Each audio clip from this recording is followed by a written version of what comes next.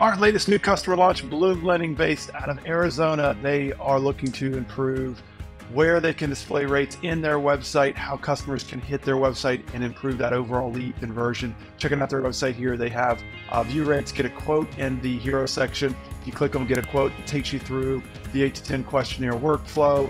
And that's the key thing that you need in your website to convert those high quality leads. They're using LoanSifter as their pricing engine, so they have that integration to get customized rates right there in the page. Going back uh, to the homepage and the, and the header, you have today's rates. Also in the hero, you have the view rates. Both of those take you to the, the rates page in their website where they have the BankingBridge rate comparison table. So that's that true shopping experience that every lender needs to have nowadays in their website to meet consumers' demands, allowing that consumer to change up their scenario, run pricing right there.